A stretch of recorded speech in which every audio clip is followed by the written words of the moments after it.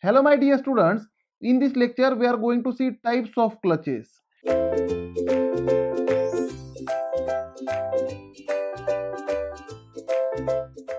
Now basically these clutches are classified into two types. These clutches are classified into two types. That is number one is friction clutches.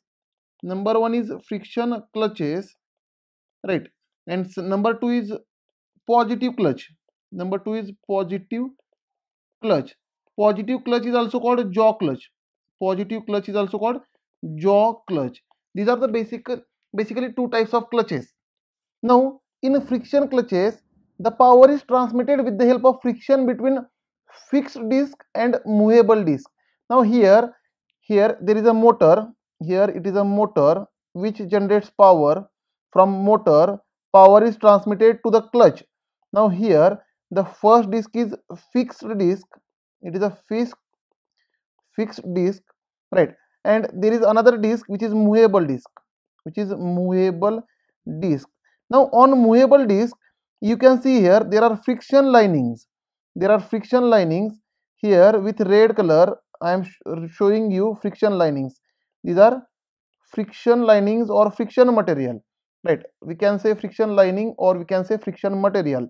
Now, whenever this movable disc comes in contact with fixed disc, then because of friction material here, because of this friction material here, power is transmitted. Means whenever this fixed disc is rotating, this friction disc will also rotate right?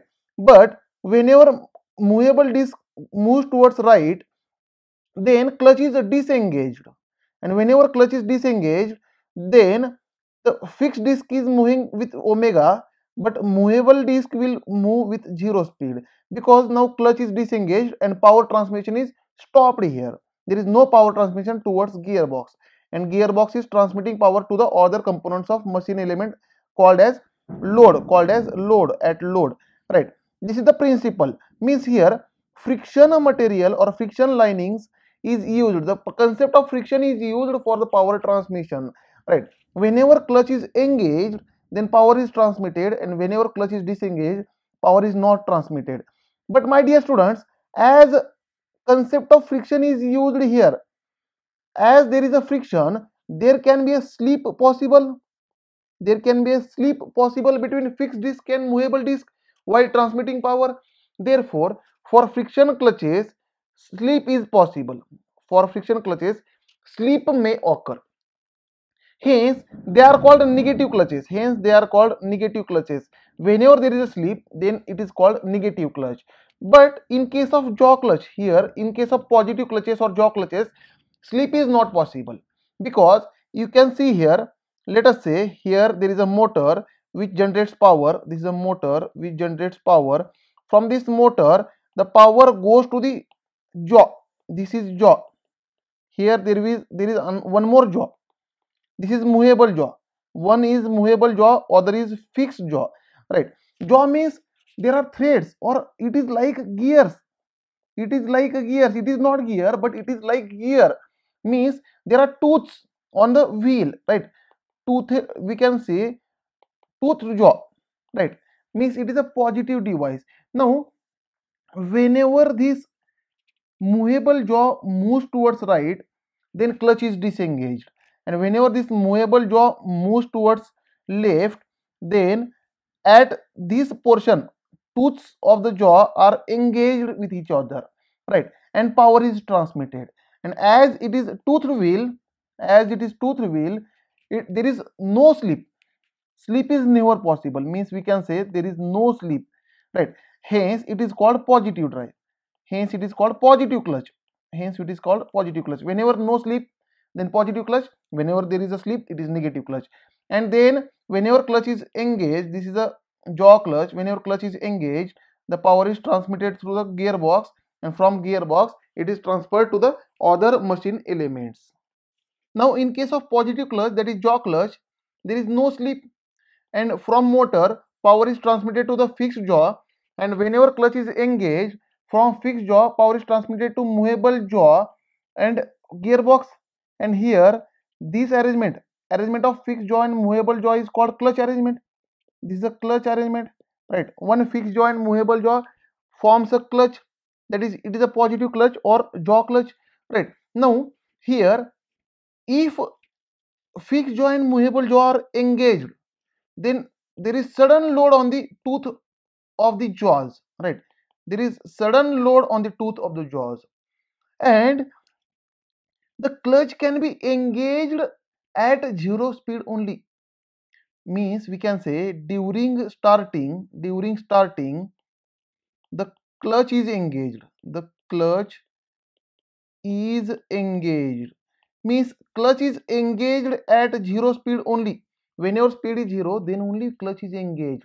If we try to engage clutch at some speed then there are chances of failure of these jaws due to impact load sudden impact right? Therefore it is possible to engage clutch at zero speed only. Now but clutch can be disengaged at any speed. Now disengagement can be at any speed can be at any speed. This is important right? Positive clutches can be engaged at zero speed only but disengagement is only uh, the disengagement can be at any speed. Now such type of clutches are used for low speed only. These are low speed application clutches right? Such as for example in a press tool. In a press tool the positive clutch is used as well as in rolling machine. In rolling machine positive clutches are used right? Whenever speed is less than whenever speed is less than or equal to 100 rpm then such type of clutches are used. Now let us say if speed is less than or equal to 200 rpm then spiral jaw clutch is used. Then spiral jaw clutch is used. Clutch is used. Now here it is straight jaw. If these jaws if these straight jaws are made spiral then the speed can be it can be used up to the speed of 200 rpm now second type is friction clutches which are called slip clutches or negative clutches. Means there is a possibility of slip slip can occur because of friction materials right? Now there are three types of friction clutches. There are again three types of friction clutches. That is first is plate clutch or disc clutch. Plate plate clutch or disc clutch. Second is conical clutch. Second is conical clutch and third is centrifugal clutch centrifugal clutch. Because of friction material or friction lining the power is transmitted here right? Hence slip may occur right? Therefore it is called negative clutch also.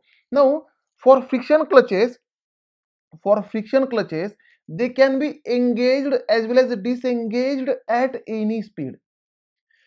Positive clutch is engaged at zero speed only, but positive clutch can be disengaged at any speed.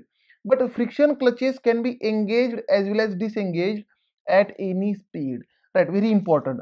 Now, again, plate clutch is classified into two types. We have to see two plate clutches that is single plate clutch. Single plate clutch is the first type of plate clutch right and these single plate clutches are used in heavy vehicles such as trucks heavy we can say buses trucks buses that is we can say heavy vehicles. The plate clutches are used in heavy vehicle single plate clutch is used in heavy vehicles such as trucks buses bus, uh, buses. Now second is multi-plate clutch. Second is multi-plate clutch right?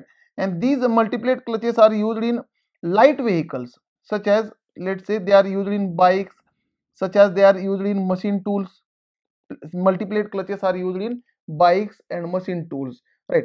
Now again conical clutch. The conical clutch is used in machine tools. Basically conical clutch are used in machine tools. And interestingly when this clutch is disengaged then it will not be engaged. Once disengaged once disengaged then it will not engage not engage right for conical clutch. We will see this in theory. All these types. In one lecture we will cover only single plate clutch. In another lecture we will cover multi-plate clutch. In one, in one more lecture we will see only conical clutch. Right here only we are looking for the classification. And in one lecture we will see centrifugal clutch. With the help of, because of centrifugal action with the help of centrifugal force the centrifugal clutch operates and these are used in mopeds. These are used in mopeds as well as small electrical motors. Small electrical motors electrical vehicles we can say. Small electrical motors or electrical vehicles right? Now our target is to see one by one all these clutches. So my dear students in next lecture we are going to start start these different types of clutches thank you dear students. In next lecture we will see single plate clutch